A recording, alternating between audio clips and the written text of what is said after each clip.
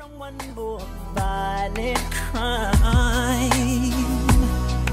She innocently questioned why, why father had died.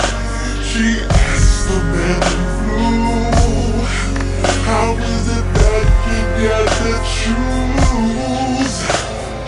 Who will live and who will die?